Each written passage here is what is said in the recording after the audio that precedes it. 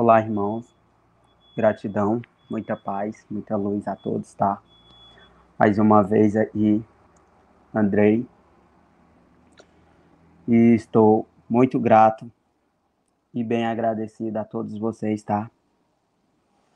Uma das coisas que eu mais agradeço é muito vocês que estão em busca de resposta do bem-estar de vocês do despertar de vocês, mudando a forma de pensar, a forma de mudar a sua alimentação.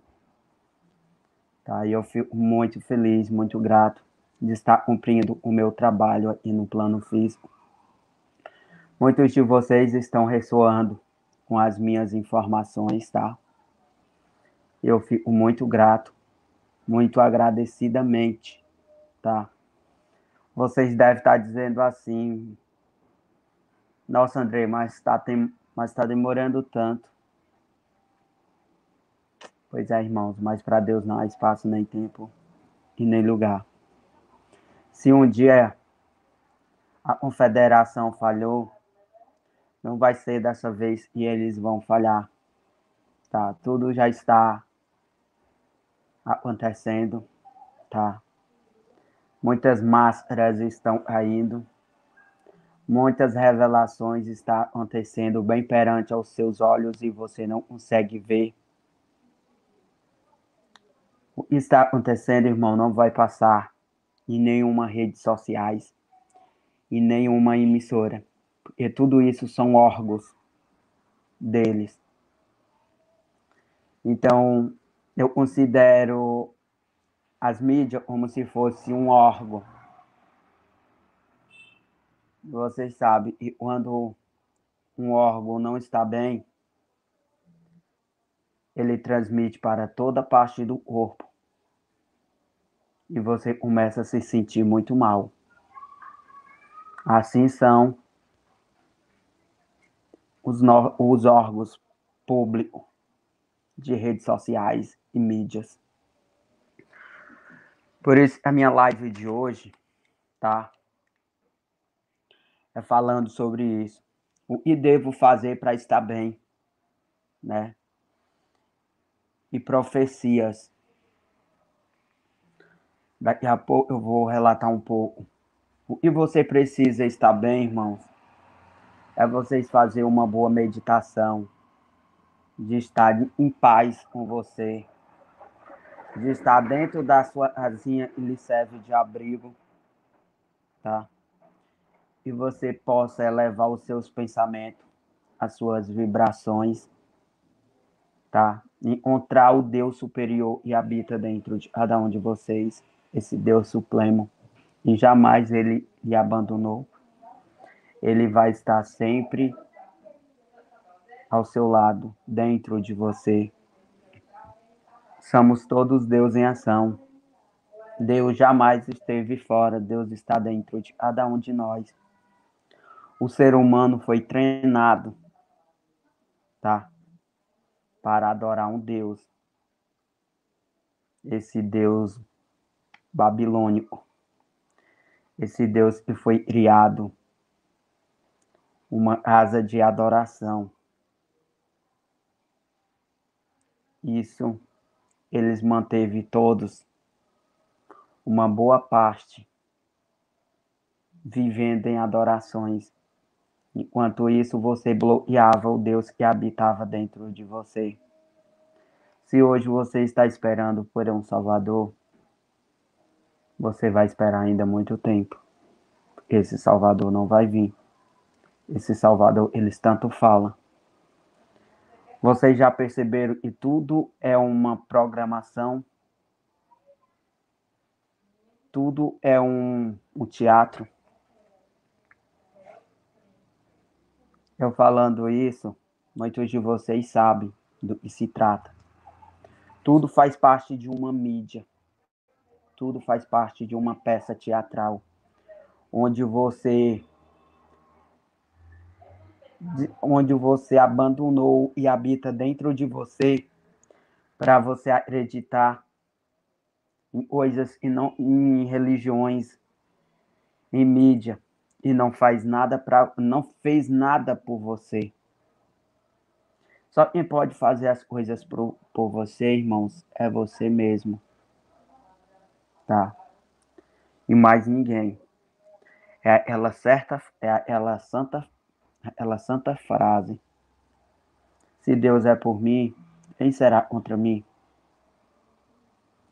E é isso, irmãos. Tá? É isso.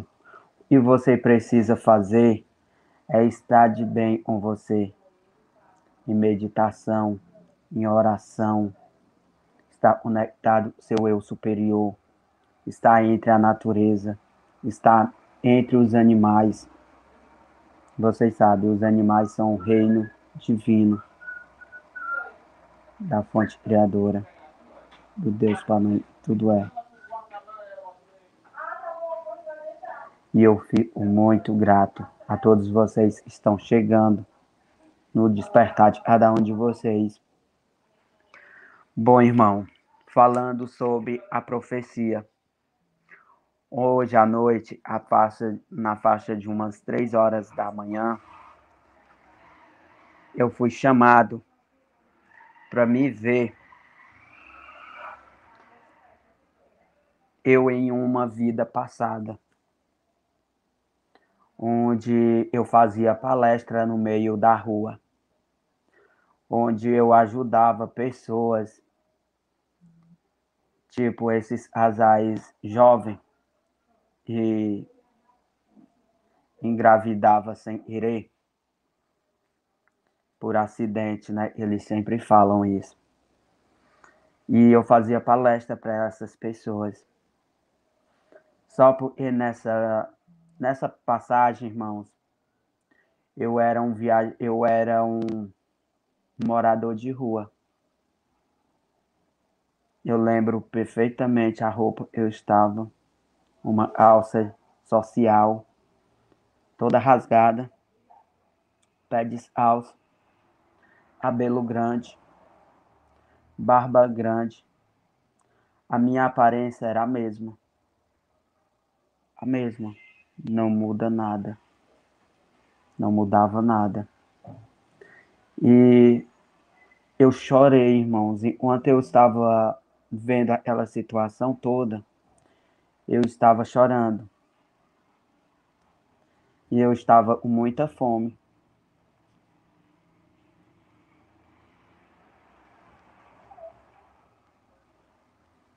Eu estava precisando de um pedaço de pão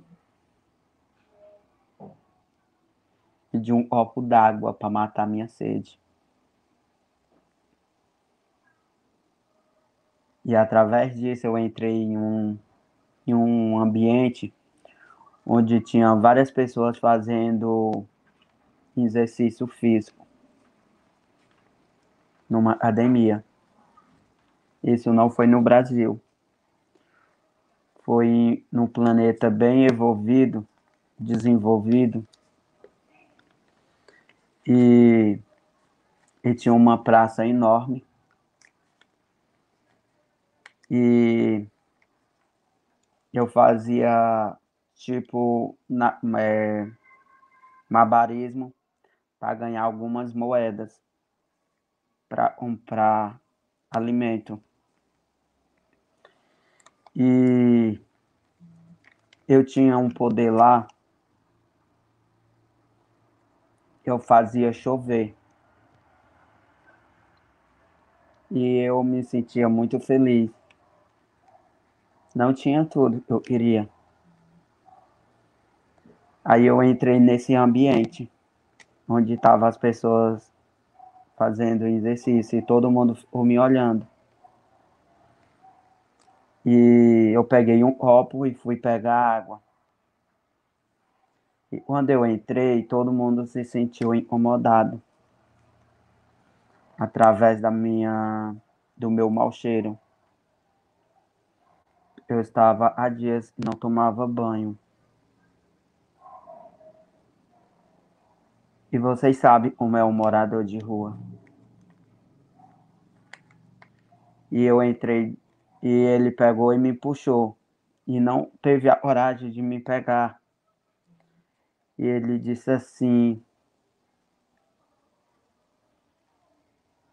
Você não pode entrar nesse ambiente. Eu disse, mas a porta estava aberta. E eu só queria um pouco de água para matar minha sede. E, e eu estava tão, tão cheio de mau cheiro. E ele não teve coragem nem de me pegar para me pôr para fora daquele ambiente.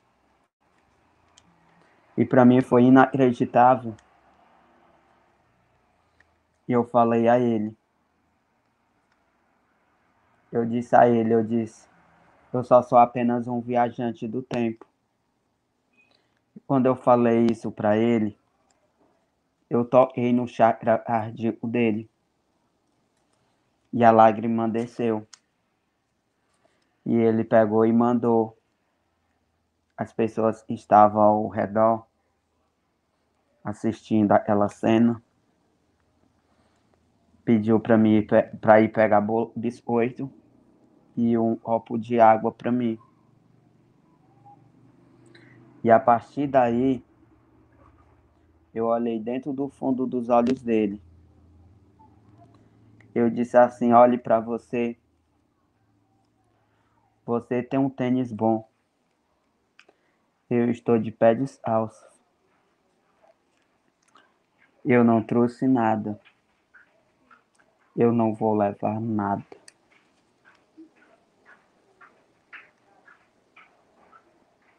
E eu disse: Eu só estou aqui apenas para proteger vocês.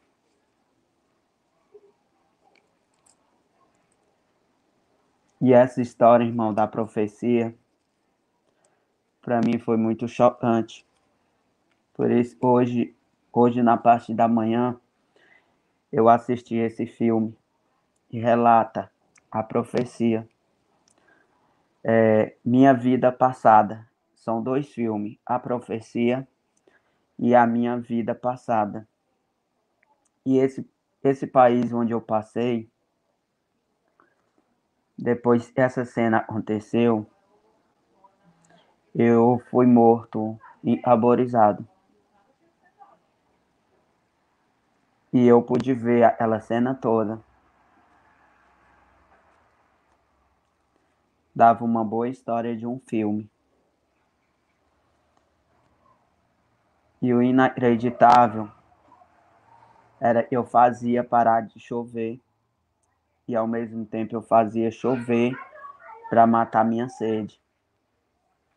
Por eu ser um viajante no tempo, naquela vida, eu tinha contato imediato com os, os vegalianos. Por isso eu sempre senti aquela energia e são eles que faz chover aqui na nossa superfície de Gaia, do nosso planeta Gaia. E todos são enganados e ainda chamam de planeta Terra. E quando você fala planeta, já vem duas coisas na mente: plano, terra, plano. Parece até loucura eu falar isso para vocês, mas muitos vão saber me julgar, mas poucos não vão ver a minha vitória.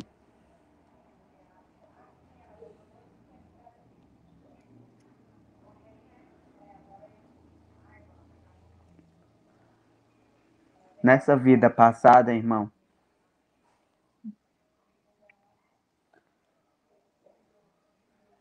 Eu morava dentro de um tronco de uma árvore. Eu mesmo criei. Dentro desse tronco da árvore, morava eu e outra moradora de rua. E quando chovia, a gente pegava toda a chuva. Porque o oco desse, dessa árvore, ela tinha vários furos. E eu dormia tão bem lá dentro. e não sentia frio. mas senti a chuva molhar meu corpo. E aí, um certo dia, os vândalos, sabendo que eu estava lá dentro, aliás, eu acho que eles não sabiam. Eles colocaram álcool e tocaram fogo com esse tronco de árvore. E eu estava dentro. A minha amiga, que era moradora de rua também, ela não estava presente. E eu, o meu corpo físico morreu arborizado, em chamas. Mas os vegalianos vieram e me salvaram. Tá? Tiraram o meu eu superior, o meu espírito. Do jeito que eu estou falando aqui para vocês, muitos de vocês aí, muitos de vocês têm marcas pelo corpo, têm cicatrizes pelo corpo, mas vocês não sabem o motivo, não sabem o porquê. Muitos de vocês já foram viajantes do tempo, assim como eu. E hoje nós estamos na reta final, onde todas as revelações estão vindo à tona, onde muitos de vocês estão lembrando do inacreditável que aconteceu com vocês em vidas passadas. Eu sempre falo, irmãos. Eu sempre falo, tá? Deixa eu procurar. Eu sempre falo a todos vocês, tá? E a espiritualidade é a melhor coisa que existe aqui na face da Terra, do plano físico. Vocês sabiam?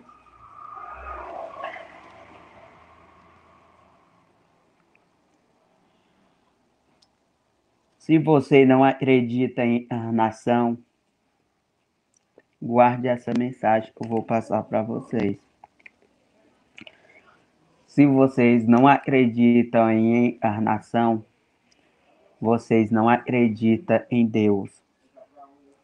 E muito menos em vocês mesmos. E Deus tem um propósito para cada um de nós que estamos hoje aqui no plano físico de Gaia. Eu sou muito grato, irmãos, por eu lembrar das minhas vidas passadas. Algo me aconteceu, algo eu estava ali e eu era um personagem. Por isso eu sempre falo para vocês, não há pecado e nem julgamento. Uma das coisas que você jamais pode fazer é tirar a vida de alguém. E quando você tira a vida de alguém, você estará tirando a vida de você mesmo. Tá? E que vocês precisam saber, irmãos, e não é fácil despertar. Não é fácil. Em nenhuma forma. Não é fácil você despertar. Eu, irmão, fico muito grato por todos vocês que me escutam, todos vocês que vibram nesse amor condicional. Pois lembra, cada um de vocês tem um propósito para estar hoje aqui. Paramos de julgamento. Para de apontar o dedo para o próximo. E isso não vai levar você a lugar nenhum tá? Aprenda a perdoar. Aprenda a respeitar o livre-arbítrio do próximo. Se vocês for em busca de conhecimento no YouTube sobre profecias, vocês vão encontrar vários filmes legais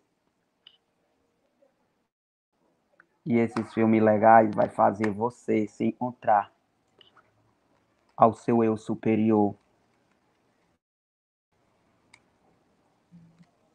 E imagine aí, irmãos, de tantas vidas passadas que vocês passaram, todos vocês passaram pelo circo da vida. E é um oito deitado. E tudo na vida tem um propósito. Tá? Tudo na vida tem um propósito. E o propósito é você estar e agora, onipresente, oniconscientemente. Eu não falo por mim. Eu falo por todos vocês. Todos vocês que têm um coração, um chakra cardíaco, você tem um propósito para estar hoje aqui. Onipresente, oniconsciente. A imagem e a semelhança do nosso Pai. E nos planetas, nas moradas do nosso Pai, haverá muitas moradas esperando por todos vocês. E elas são visitadas em tempos e tempos. Vocês não imaginam o quanto eu passei para chegar até aqui. Eu tinha mais de 30 motivos para não estar hoje aqui, dando o meu testemunho a todos vocês. Se em vidas passadas eu já fui um palestrante, já, já ajudei várias pessoas. Naquela vida passada eu ajudava as pessoas a meditar, as pessoas a acreditar. E Deus sempre estava presente na vida deles. E eu não mudei nada. Eu sou o mesmo viajante do tempo. Só porque hoje eu tenho oportunidade de exaltar minha voz através dessa plataforma. E todos vocês estão aí do outro lado. Eu sinto que muitos de vocês estão chorando. Mas isso é muito bom. Você alivia aquela pressão que você sente dentro do seu chakra cardíaco. E isso, irmão, é muito maravilhoso para todos vocês. Porque assim vocês estão se encontrando com o seu eu supremo. Para Deus você jamais morrerá. Você só apenas mudará de azul. E o incrível que pareça, em todas as vidas passadas que vocês tiveram, vocês tiveram a mesma imagem, a mesma aparência. Só mudaram apenas de tamanho, algumas vezes a cor do olho, do cabelo. Muitas vezes as pessoas me perguntam, Andrei, eu tenho 34 anos nessa passagem. Muitas pessoas dizem assim, Andrei, por que sua barba já está 40% branca? Olha. Vocês sabem que eu respondo a essas pessoas que não sabem o sentido da vida? e não sabe respeitar o livre-arbítrio das pessoas, e não sabe o Deus que habita dentro deles,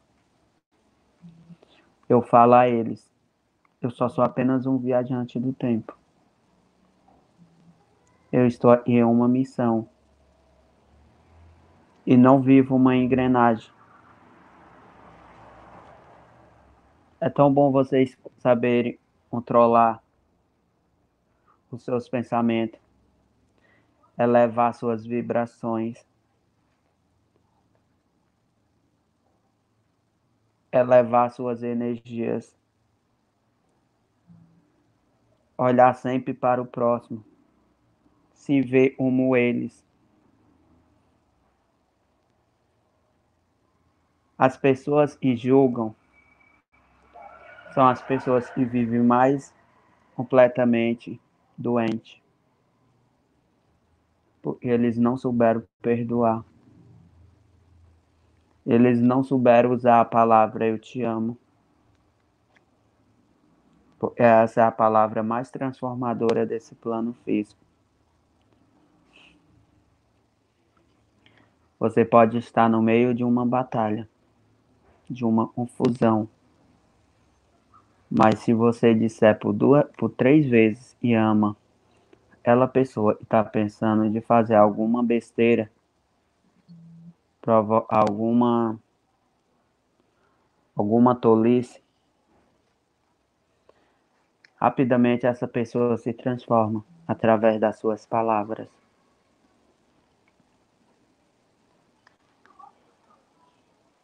E vocês sabem, irmãos,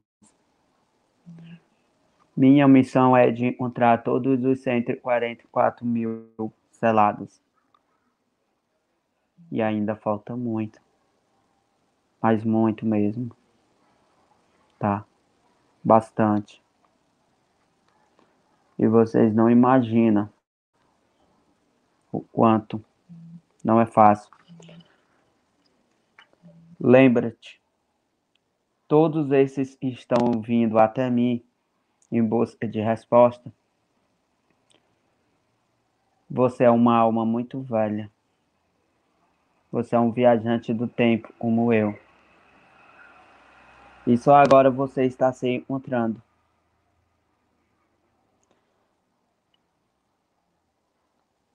E vocês sabem, eu não falo pela boca.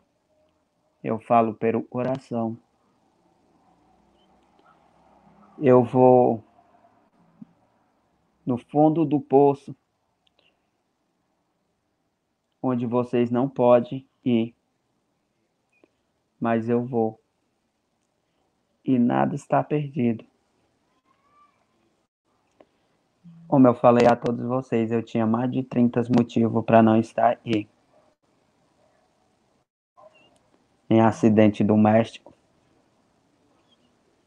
em, em, várias, em várias formas de de acidentes que aconteceu comigo em, em vidas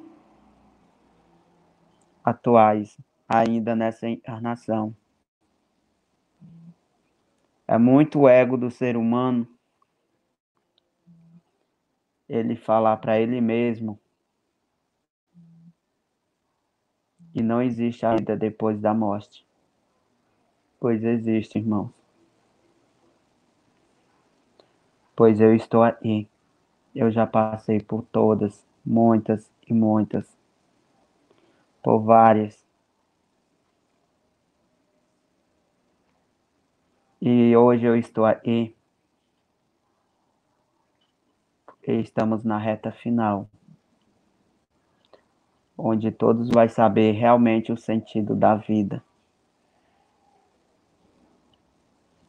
Imagine se você pudesse ver o seu passado inteiro. Uma, aquela letra da música lá do Capital Inicial. Se um dia eu pudesse ver meu passado inteiro e fizesse parar de chover. A vida é assim, irmãos. Eu lembrei. Também não custa nada nada você lembrar. Quando você lembra das suas vidas passadas,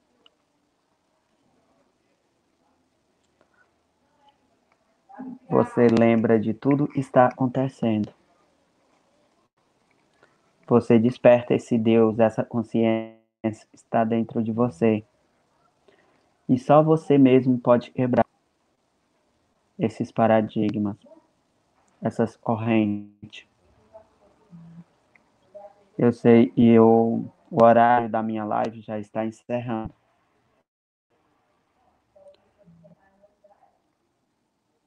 Pois saiba, irmão, que para Deus não há espaço, nem tempo, nem hora e nem lugar. nem presente, nem passado. Eu queria que vocês entendessem isso. Porque se eu passei por essas por essas vidas passadas, era porque eu tinha que passar. Mas hoje eu estou aqui de novo. Onipresente, oniconsciente aqui no plano físico. E ajudando muitos de vocês a se sentir bem. Eu não quero nada de vocês. Só era apenas que vocês ressoa no seu chakra cardíaco essas informações, tá? A profecia das vidas passadas, tá? Nada se leva de coração. Muitos de vocês se vendem por, por trocas de algumas moedas e não tem valor nenhum. É só apenas uma matéria. E essa matéria faz você aumentar cada vez mais o seu próprio ego. Aprenda a amar, aprenda a respeitar, aprenda a ver as pessoas com os olhos de Deus. Tá? E eu sou muito grato a todos vocês. Todos vocês que estão aí e me assistem tá? Se vocês quiserem compartilhar, quiserem curtir, fiquem à vontade. O livre habita é seu, tá? Se sente todos abraçados por mim.